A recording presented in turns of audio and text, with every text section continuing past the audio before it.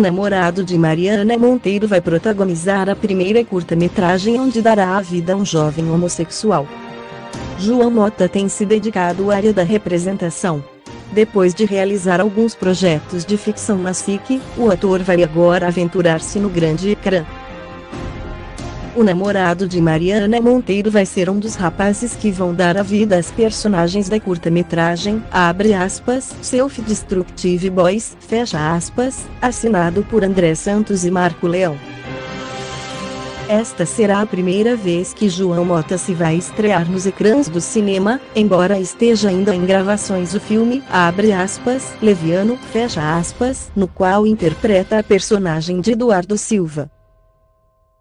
Esta terça-feira o ator recorreu às redes sociais para deixar uma mensagem de agradecimento aos dois criadores de curta e a toda a equipa que com ele trabalhou nos últimos tempos. Abre aspas, um obrigado enorme a Marco Leão, André Santos e a toda a equipa que tornou este projeto P-O-S-S e agudo V-E-L, fecha aspas, pode ler-se na publicação.